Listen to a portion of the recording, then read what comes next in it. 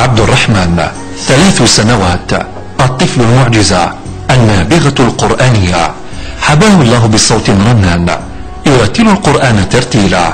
يحفظ عن ظهر قلب ما تيسر من الصور الطوال حبا متراكبا دون قراءة أو تمحيص ولا أخطاء في قواعد التلاوة أو الخلط بين الصور القرآنية والآيات.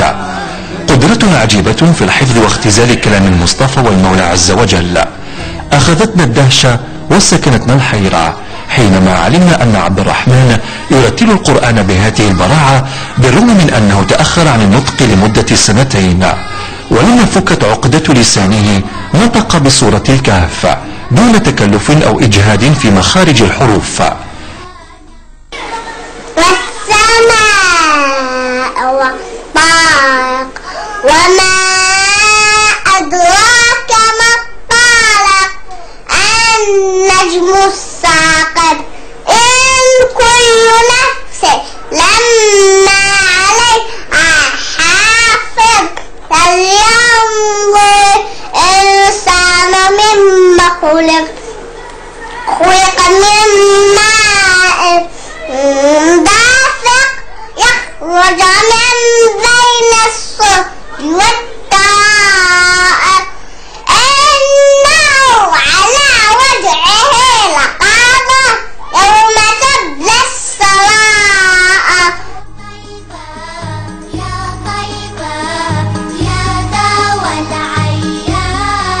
يلتزم في تلاوته الاستعادة من الشيطان الرجيم واحترام أغلب أحكام المد في التلاوة.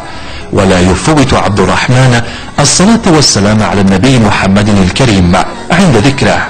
أما دعاء ختم القرآن فهو مهضوم بالنسبة إليها غير منقوص. بعض من أسرار هذه الموهبة الربانية أن والدة عبد الرحمن وهو في بطنها توحمت على سورة الكهف. كانت مواظبة على قراءتها يوميا تشعر بالراحة والطمأنينة ما إن تفرغ منها ولا يستبعد والد عبد الرحمن أن يكون قرة عينيها قد تأثر بسماع القرآن قبل أن يرى نور الدنيا.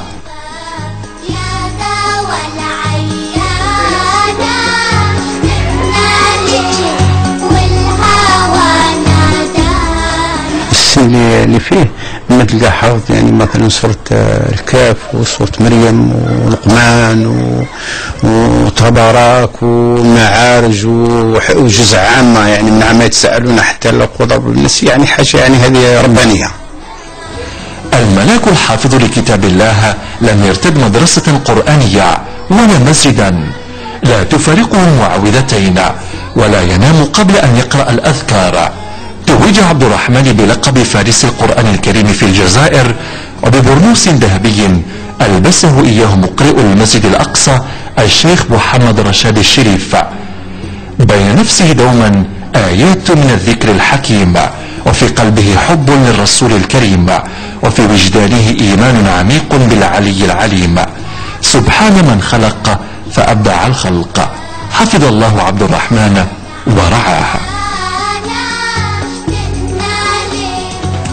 رفيق مخوشة لأن بي سي في أسبوع. الجزائر.